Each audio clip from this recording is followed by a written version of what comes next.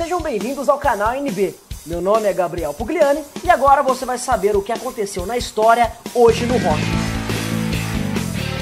Alguns fatos que aconteceram no dia 1 de dezembro. Em 1944, nasce John Dunsmore, ex-baterista e fundador do The Doors. Também em 44, nasce Eric Bloom, da Blue Oyster Cult.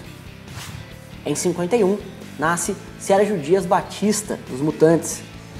Também em 51, nasce Jaco Pastorius, da Weather Report. Em 1957, Ed Sullivan apresenta Bud Holly. Em 58, Neil Sedaka assina com a gravadora RCA. Em 1970, Emerson Lake and Palmer faz a primeira apresentação fora da Inglaterra. E em 1986, sai na Inglaterra o álbum Live Magic, do Queen. É isso, não se esqueça de curtir e compartilhar o vídeo. E assine o canal para ver o que acontecerá, é, digo, o que aconteceu amanhã. Não, não, não, espera, espera. Assina o canal para ver o vídeo de amanhã.